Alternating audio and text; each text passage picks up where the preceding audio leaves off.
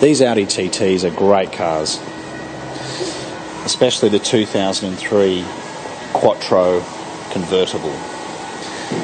My name is Philip Tarrant, and I'm going to chat to you about this lovely Audi TT today. You can tell it's a Quattro because it's got the twin exhaust pipes at the back.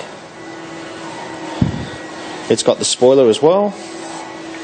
As you can see, it's dark blue in colour with charcoal leather interior it's done just 98,000 kilometres and it is a six speed manual.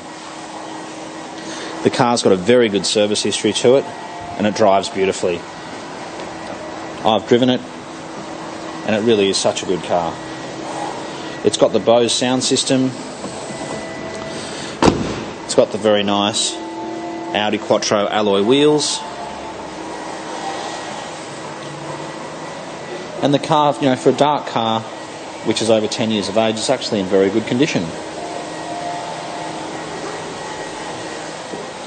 Looking down the side here, it seems to be very good as well. The tyres are good. We'll have a quick look at this logbook. Down here.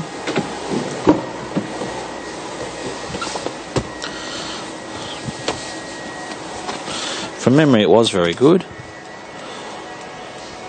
Yes. So it looks like it's been to Audi most of its life. In fact, every single service has been done at Audi, which is fantastic. Right through, it looks like Auto at Artarmon. So that's pretty rare to get a car which is over 10 years of age with a perfect Audi service history. The electric Roof works perfectly. I think personally the Quattro manual convertible is the one to get.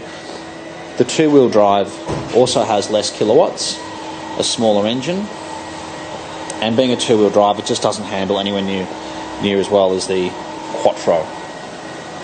But if you have been looking for a TT, you're looking for a really good one, something with low kilometres for its age, in good condition, we think you should definitely come and have a look at this car and take it for a drive. So we're located in Marrickville. The business here is called the Oldtimer Centre. We specialise in European cars and we've actually got quite a few available. We've got about 70 cars in stock at the present time. Thank you again for watching and we look forward to hearing from you.